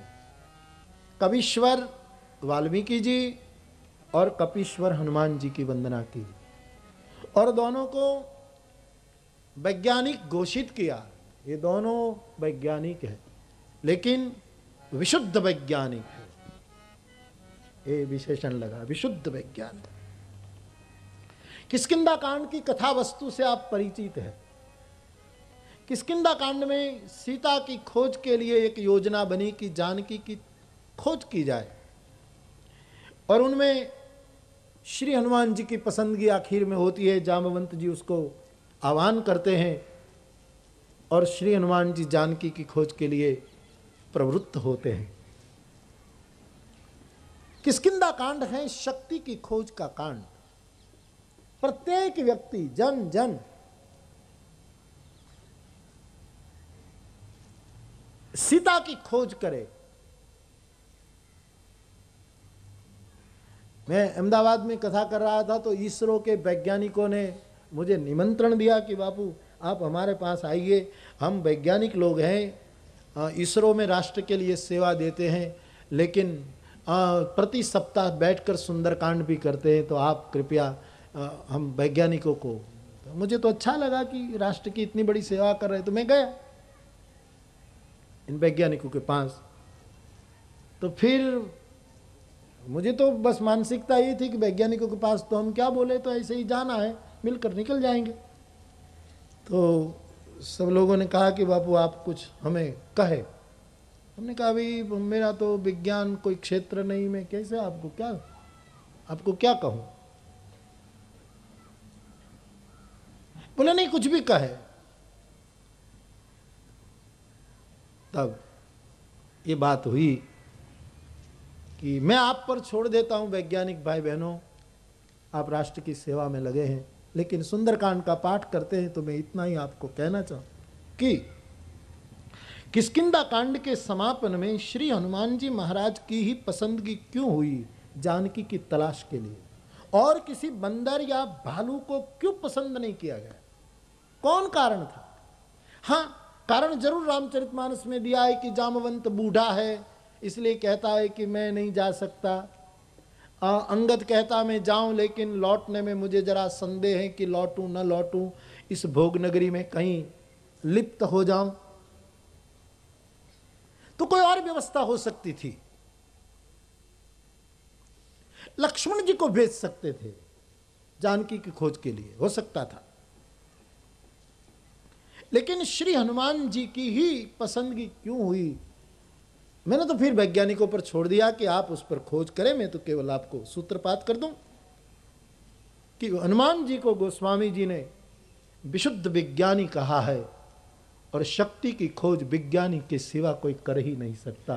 कोई भी ऊर्जा की खोज बिना वैज्ञानिक हो ही नहीं सकती। इसलिए गोस्वामी जी ने बहुत वैज्ञानिक सूत्र प्रदान किया कि हनुमान जी को खोजने भेजा। और फिर सुंदरकांड का आप पारायण करते देखिए, सूक्ष्म रूप धरी। कभी सूक्ष्म होते हैं, कभी विराट होते हैं, सभी वैज्ञानिक प्रक्रिया है। सभी वैज्ञानिक रीत से श्री हनुमान जी महाराज ने तलाश की है। और दूसरे वैज्ञानिक है वाल्मीकि। जानकी जी सगर्भा थी और दूसरी बार उसको वन में भेजना पड़ा लोकापवाद के कारण। इस पूरी चर्चा में हमें नहीं जाना। लेकिन सीता को जब दूसरी बार वन में भेजने की बात आई, तब फिर वाल्मीकि के आश्रम की पसंदगी क्यों की गई? विश्वामित्र जी का सिद्धाश्रम निकट था बिल्कुल। भरद्वाज जी राम जी के बहुत परिचित महापुरुष थे। लेकिन उसी समय फिर वाल्मीकि के आश्रम ही जान की जाए, ऐसी कुछ व्यवस्था हुई। क्योंकि शक्ति जब सीता मानी शक्ति शक्ति रूपेण संस्थिता, उद्भव स्थिति संहार कारिणीम क्लेश हारिणीम सर्वश्रेयस्करीम सीताम न तो हम राम वल्लभाम श्री जानकी जी फाट फाट शक्ति है, ऊर्जा है और शक्ति जब सगर्भा होती है, तब किसी वैज्ञानिक ही उसको सुरक्षा दे पाता है। दूसरों के हाथ में सगर्भ शक्ति जाएगी तो विश्व में भयानकता पैदा हो जाएगी। कब वो विस्फोट कर दे, क्या पता? इसलिए क्योंकि उस शक्ति के गर्भ से लव निकलने वाला है।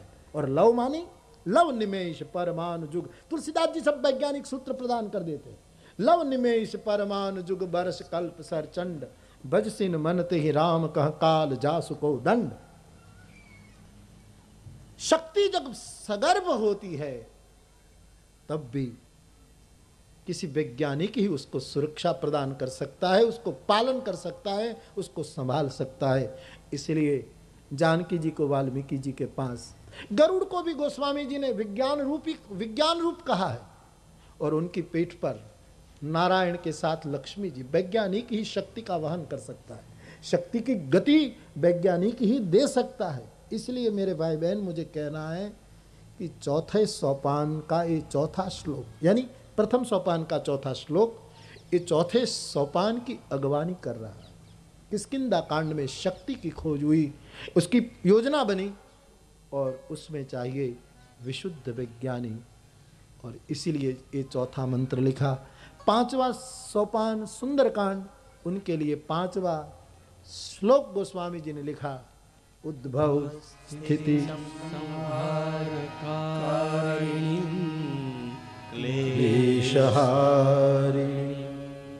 सर्वश्रेयस्करी,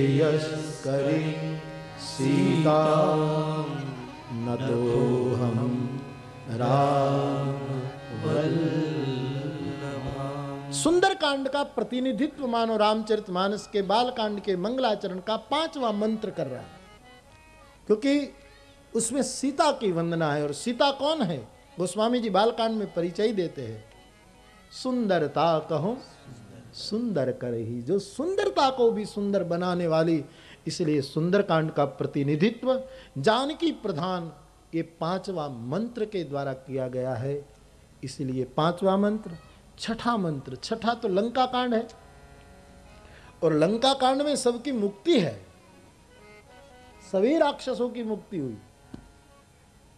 इतना ही नहीं, मुक्ति हुई इतना ही नहीं, सब परमात्मा के रूप में समा गए, सारूप्य पा गए। सारूप्य मुक्ति पा गए लोग। राम में और रावण में फ़र्क नहीं रहा, दोनों एक हो गए। सबको परम आश्चर्य हुआ कि क्या हो रहा। इसीलिए ये मुक्ति का कांड है, लंका कांड, छठा कांड। इसलिए गोस्वामी जी छठा मंत्र अद्वैत सिद्धांत का लिख रहे हैं, क्योंकि अद्वैत हो गया है। अब न राम भिन्न है, न रावण भिन्न है, सब एक हो गए। इसलिए पूरा अद्वैत का सिद्धांत गोस्वामी जी ने छठे मंत्र में लिख दिया। आप इस मंत्र से भी परिचित है। यन्मायावशवर्ति विश्वमखिलम ब्रह्मादिदेवासुरा। यत्सत्त्वादमृषैव भाति सकलं रज्जो यथा प्लवमेकमेव हि अम्भोधिस्थितिशातां वन्देऽहं तमशेषपारणपरं रामाख्यमीशं बिल्कुल। वेदांत का ये श्लोक अद्वैत। उसकी परिभाषा तब करेंगे जब मानस से मानस अद्वैत। गोस्वामी जी ने मानस में अद्वैत का सिद्धांत कहाँ कहाँ अपने ढंग से प्रतिपादित किया है, तब उसकी विशेष चर्चा कर सकेंगे। लेकिन अभी लंका कांड मेरी समझ में मुक्ति का और अद्वैत का कांड है, जिसमें जीव शिव बन गया। कोई भेद नहीं रहा। इसलिए गोस्वामी जी छठा मंत्र लिखते हैं, अद्वैत परक परक। वेदांत परक पूरा मंत्र, गोस्वामी जी ने छठा लिखा। और उत्तरकांड, उत्तरावस्था में तो कथा ही होनी चाहिए ना। उत्तरावस्था में तो बस सेवा, कथा रसम हो नितराम पिबत्वम भागवतकार ने कहा, उत्तरावस्था में तो भगवान की कथा ही एकमात्र ज़्यादा से ज़्यादा सरल उपाय है, इसलिए सातवां मंत्र उत्तरकांड का प्रतिनिधित्व करके लिख दिया, स्वंत सुखाय तुलसी रघुनाथ गाथा भाषा मति मंजुल मात नौती नाना पुराण निगमागम सम्मतम यद। रामायणे निगदितम क्वचिदन्यतोपि स्वांत सुखाय तुलसी रघुनाथ गाथा भाषा निबद्ध तो सातवां श्लोक सातवें कांड का प्रतिनिधित्व कर रहा है, क्योंकि उत्तर कांड में भगवान की कथा अति सरल साधन है। तो लगता है ये सात श्लोक बालकांड के मंगलाचरण के उस सातों सोपान का सूत्र के रूप में प्रतिनिधित्व कर रहे हैं। ऐसी ये राम कथा ऐसा ये रामचरितमानस जिसकी कथा आज से प्रारंभ हुई, हम और आप बैठ करके नौ दिन उनका गान श्रवण करेंगे। और प्रधान रूप में मानस भक्ति सूत्र की चर्चा करते हुए प्रसंगों को भी लेंगे।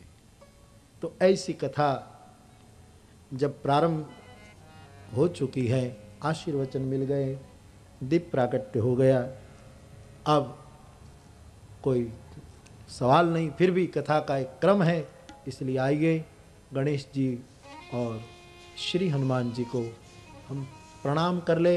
इनके चरणों में अपनी श्रद्धा गोस्वामी जी के शब्दों में समर्पित कर दे। गाइए गणपति जगवंदन। गाइए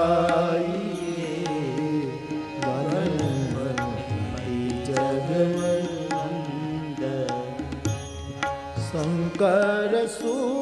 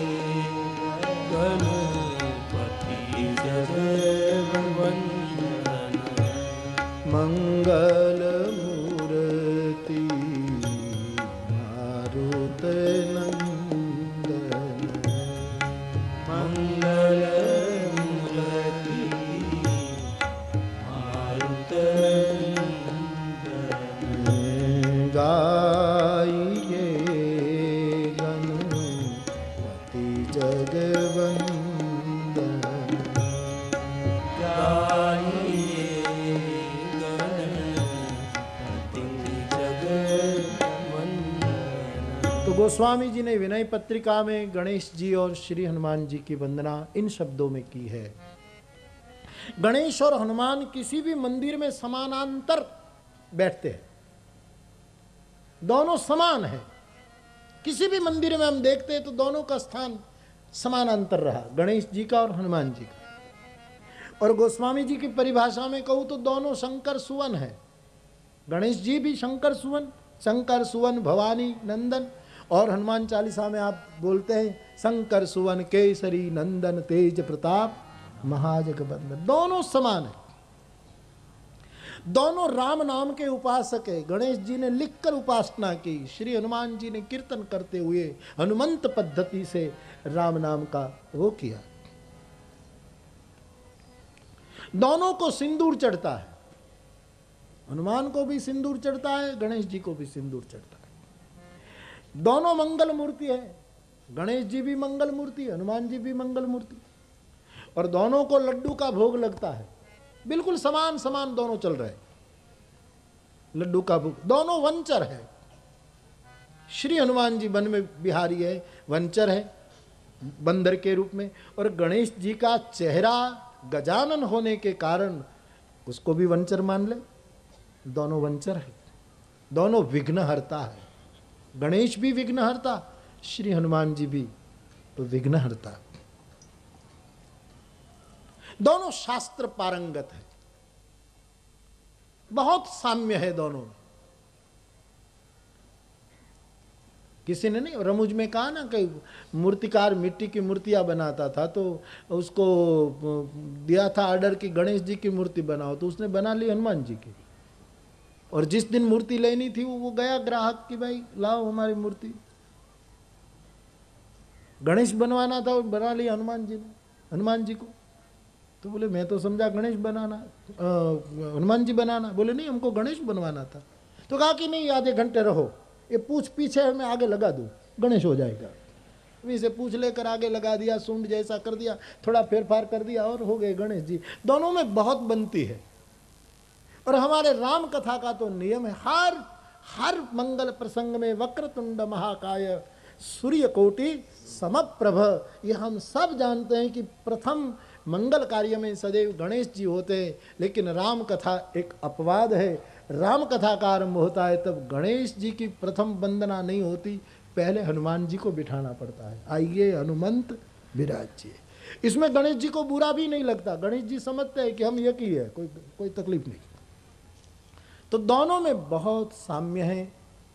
एक ही है, समझो, इन दोनों के चरणों में हम अपनी श्रद्धा समर्पित करें और रामचरितमानस में सात मंत्रों के बाद पाँच सौरठे लिख दिए। इसमें प्रथम सौरठे में फिर गणेश जी को याद किया, जो सुमिरत सिद्धि होई, गणनायक करिबर बदन, करऊ अनुग्रह सोई बुद्धि राशि शुभ गुण सदन मूक होई बाचाल पंगु चढ़े गिरिबर गहन जासु कृपा, सुदयाल द्रवऊ सकल कलिमल दहन।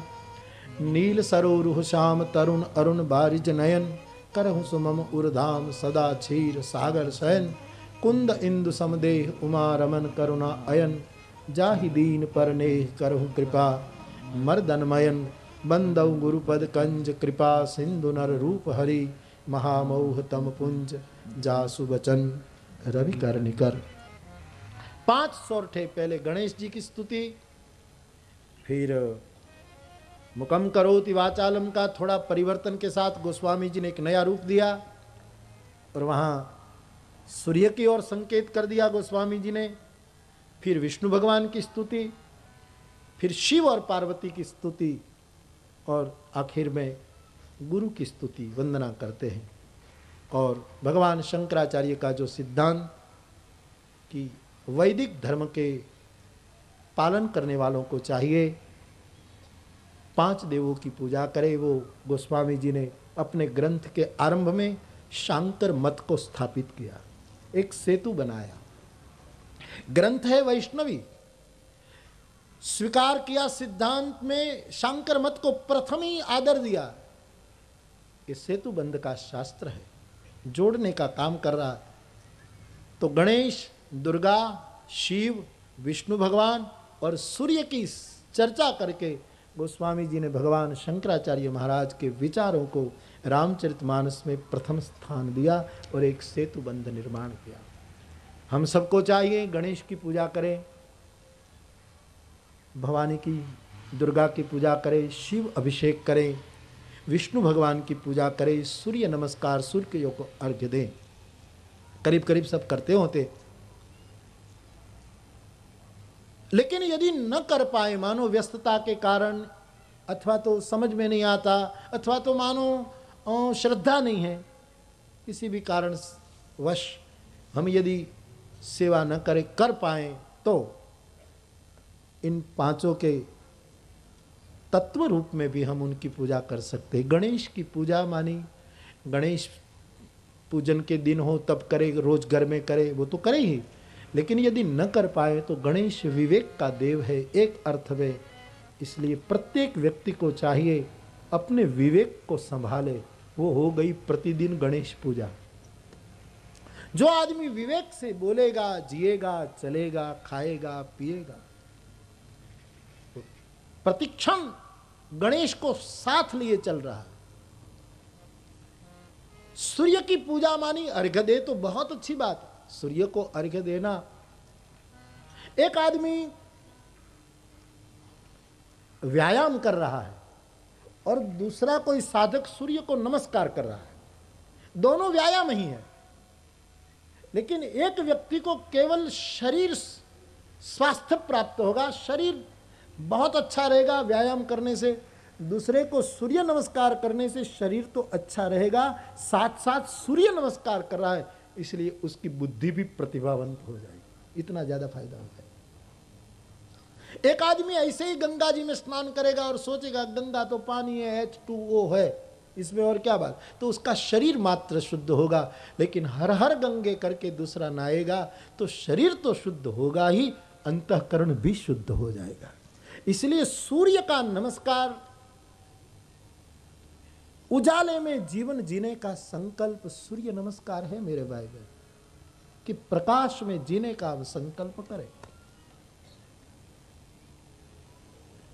वो हो गया सूर्य नमस्कार, सूर्य पूजा, एक अर्थ में वैसे तो करनी ही चाहिए, लेकिन न कर पाए तो ऐसे करो। भगवान शंकर कल्याण के देवता है, शिव है हमसे जितने का कल्याण हो, हम जितने के लिए उपयोग में आ सके, दूसरों के लिए हम कुछ करें। ये हो गया शिव अभिषेक। भवानी, श्रद्धा है। हमारी श्रद्धा मिटे ना, टूटे ना, कटे ना। जिस श्रद्धा के शास्त्रकारों ने बड़ी बड़ी महिमा गाई है मुझे तो श्रद्धा और बुद्धि के बारे में एक ही सूत्र श्रीलंका में उठा था, वो मैं कह रहा हूँ। आप उस पर सोचिएगा मेरे भाई बहन समाज पर रख रहा हूँ कि व्यक्ति की चेतना जब अंतर्मुखी हो जाती है, तब श्रद्धा बन जाती है और वही चेतना बहिर्मुखी होती है, तब बुद्धि बन जाती है। एक ही चेतना के ये अंतर्बाह्य आयाम है। वही चेतना, वही ऊर्जा जब भीतर चली जाएगी श्रद्धा का रूप धारण कर लेती है और वही चेतना जब बहिर्गति करती है, तब वो बुद्धि का रूप। इसलिए हमने उस शक्ति को बुद्धि रूपेण भी कहा है और श्रद्धा रूपेण भी कहा है। तो हमारी श्रद्धा न टूटे, कटे, मिटे। वो हो गई गौरी पूजा और विष्णु पूजा। दिल को, विचारों को, दृष्टि को व्यापक बनाना विष्णु पूजा हो गई। हम संकीर्ण न रहे, संकुचित न रहे, अपने आप को बहुत व्यापक अर्थ में संसार की सेवा में लगाएँ तो एक अर्थ में हो गई। बाकी शालिग्राम की, विष्णु भगवान की पूजा करनी ही चाहिए। लेकिन यदि कोई न कर पाए तो इस तरह तात्विक रूप में भी इन पाँचों सूत्रों को हम आत्मसात कर सकते हैं। और फिर गोस्वामी जी ने गुरु वंदना करते हुए रामचरितमानस में मानस गुरु गीता लिख दी, जिसका हम प्रारंभ में पाठ कर लें और फिर आ जाए बंद पद पद्म सुरुचि सुवास सरस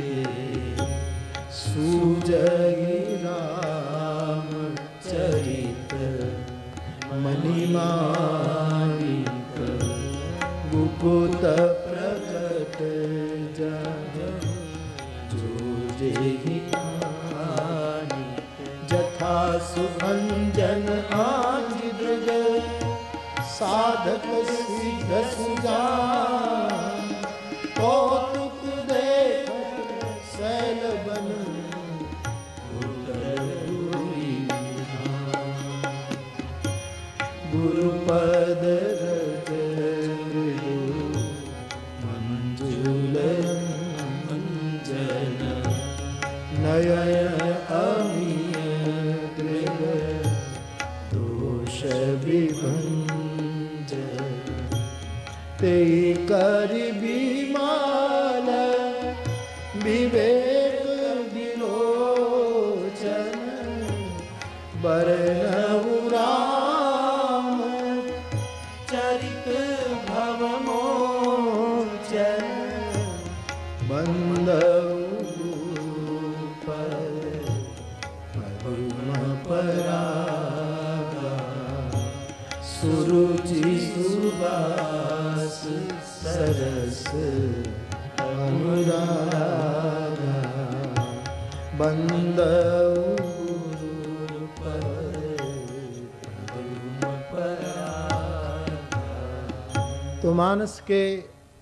प्रथम प्रकरण में जहाँ से गोस्वामी जी ने चौपाइयाँ लिखना शुरू किया, वो गुरु वंदना से कथा का आरंभ होता है, जिसका हमने केवल गान किया, इसकी चर्चा कुछ कल करेंगे। तो इस तरह राम कथा का आरंभ गोस्वामी जी गुरु वंदना से कर रहे हैं। मेरे भाई बहन मानस भक्ति सूत्र को लेकर राम कथा को हम साथ में बैठकर गाएँगे। मानस में उसका क्या दर्शन पाया जा रहा है, उसकी साथ में मिलकर चर्चा करेंगे। आज कथा को यहीं ही विराम दूँ। इससे पूर्व कुछ क्षणों के लिए भगवान नाम का संकीर्तन करें और फिर आज की कथा को मैं विराम दूँगा। तो आइए कुछ क्षणों के लिए भगवान नाम का आश्रय करें। हरे रामा रामा, राम सीता। खुदाई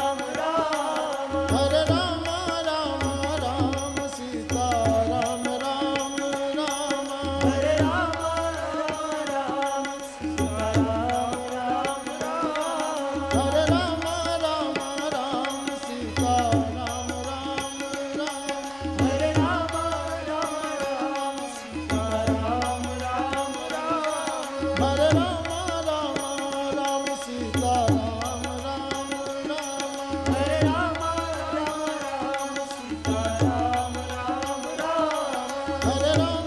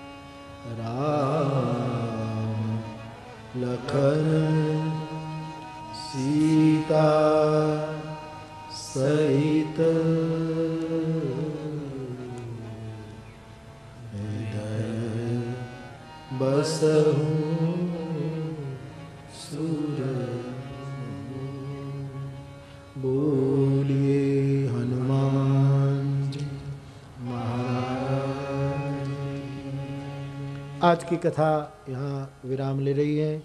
कल सुबह नौ बजे कथा आगे बढ़ाएँगे, भाव और श्रद्धा के साथ। बोलिए रामचंद्र, भगवान की जय।